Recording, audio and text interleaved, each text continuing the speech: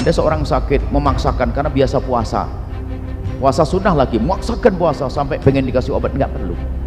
Puasa wajib saja kalau orang sakit boleh berbuka, apalagi puasa sun sunnah dan pahalanya tetap mengalir.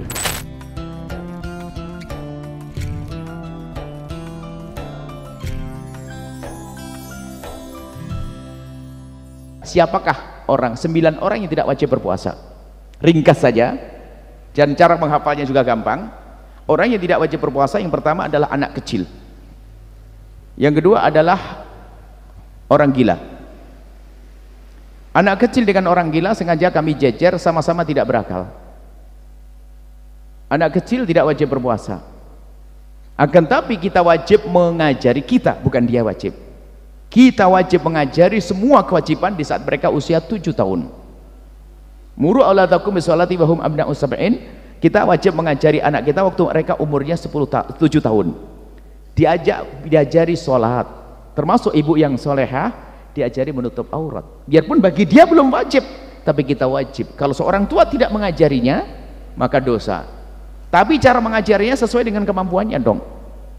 Ya namanya anak kecil 7 tahun kepakai kerudung, lepas kerudung, lepas. Ya panas belum biasa. Yang penting selalu ingatkan sayang pakai. Belum bisa dimarahi karena masih 7 ta belum bisa dimarahi. Pakai lepas disanjung saja. Kau ini pokoknya ini ikut Nabi Muhammad, ikut gini disanjung umur 7 tahun. Jadi selagi umur 7 tahun memang dia belum dosa, tapi kita wajib mengajari yang wajib, diajari sholat. Termasuk menjauh yang haram.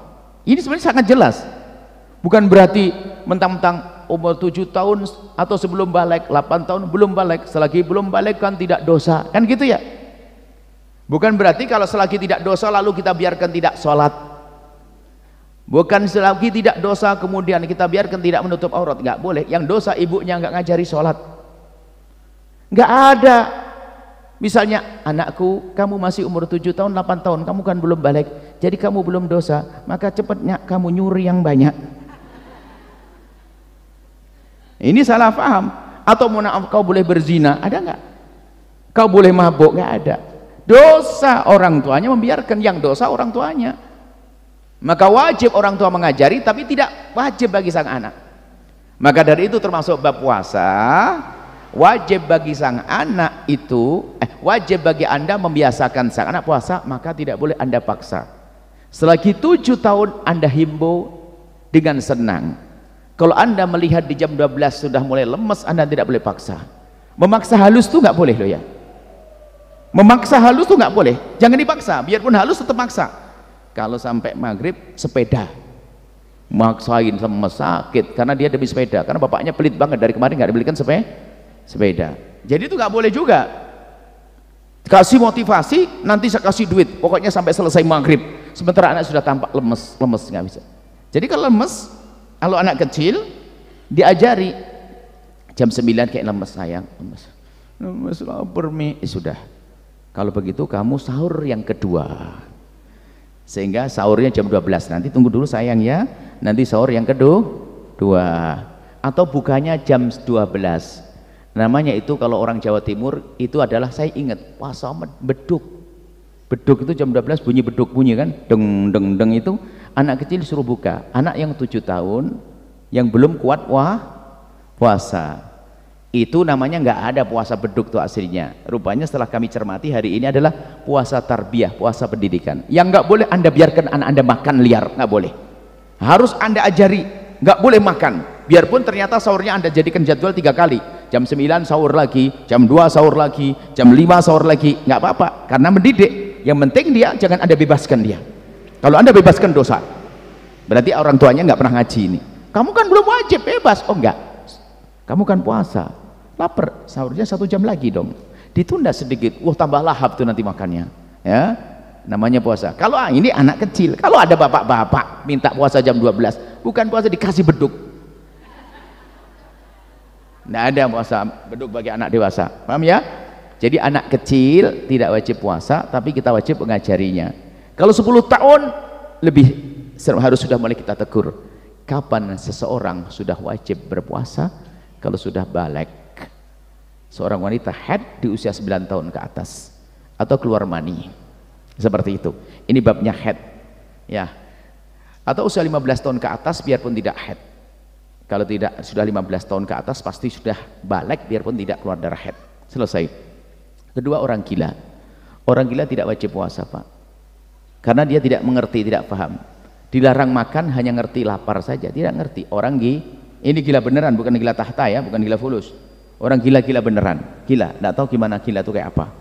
Orang gila tidak wajib berpuasa dua anak kecil dan orang gila kemudian yang ketiga adalah orang tua dan orang sakit. Sengaja Buya gabungkan antara orang tua dengan sakit itu sebenarnya orang tua itu menjadi tidak boleh puasa karena menjadi kayak orang sakit. Orang tua yang lemah. Umur ternyata tidak jadi ukuran. Yang penting tampak di usia tua dia lemes kalau puasa dia duduk di kursi nggak gerak-gerak jangan-jangan bablas nggak geraknya. Maka dari itu seorang anak nggak boleh memaksa kakeknya berpuasa. Dan perlu disampaikan bahwasanya kalau memang dia lemah berpuasa maka jangan puasa sudah dapat pahala. Sebab ada sebagian seorang ibu-ibu nenek-nenek sepuh itu nenek-nenek tua itu karena takutnya kepada Allah dipikir tetap wajib puasa sehingga dia memaksakan diri untuk puasa na'udzubillah. Mempercepat kembalinya kepada Allah. Nggak boleh dolim kita. Kalau selagi berlebih tua sakit suruh makan. Puasanya gimana? nanti kalau nenek sudah sehat dikodok. Sekarang dapat pahala. Dan mungkin tidak akan ngodok lagi kan? Sudah tua kan? Hmm, mana sehat? tidak ada tua jadi muda. Baik jadi orang tua sama orang sakit. Orang sakit juga boleh berbuka puasa tapi ada rambunya jangan. Sampai tiba-tiba ada anak gadis Umi saya hari ini nggak puasa. Kenapa? saya sakit Mi. Sakit apa sayang? sakit jerawat. Jerawat itu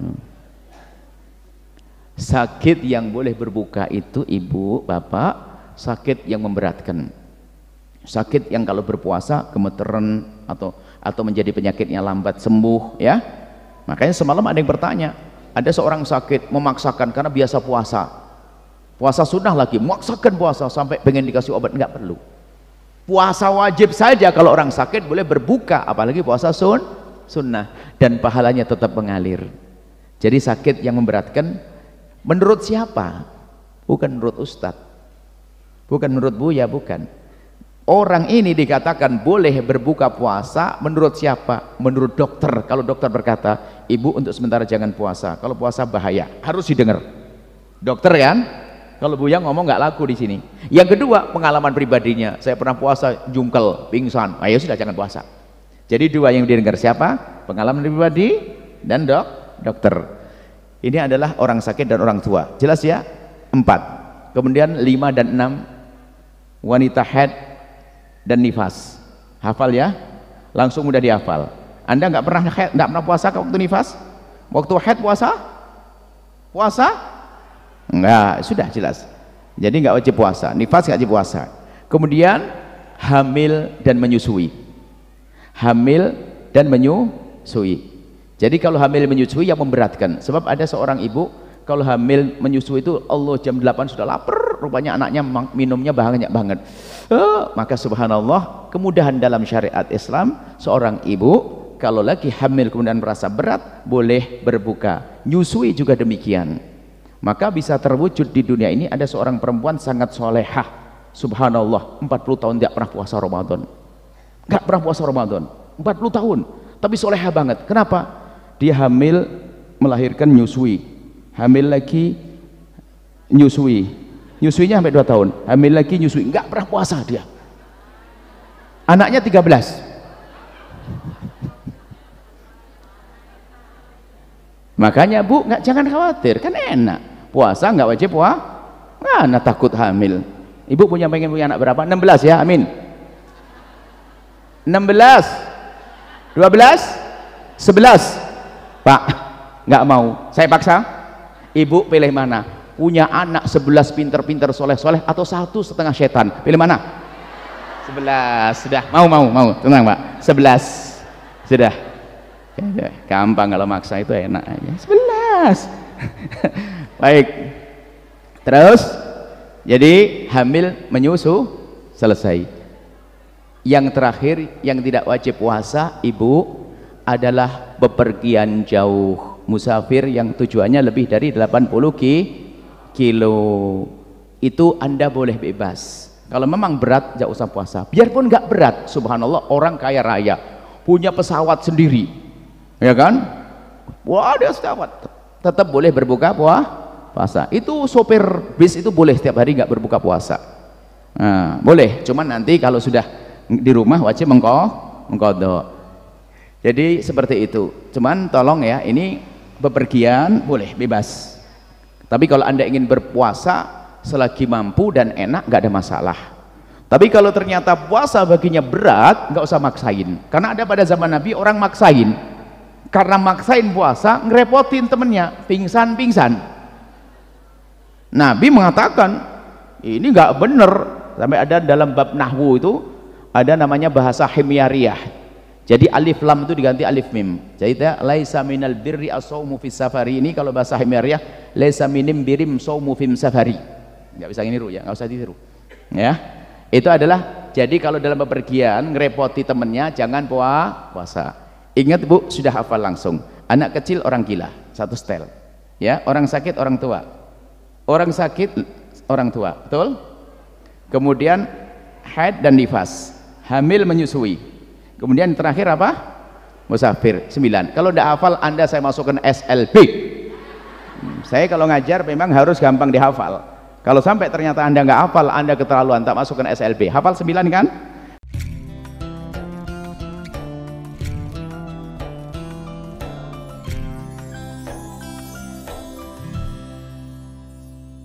sahabat Albaja TV setelah menyaksikan video ini jangan lupa bersolawat kepada baginda Nabi Muhammad. Sallu ala Nabi Muhammad. Allahumma sholli alaihi wa ala alihi wa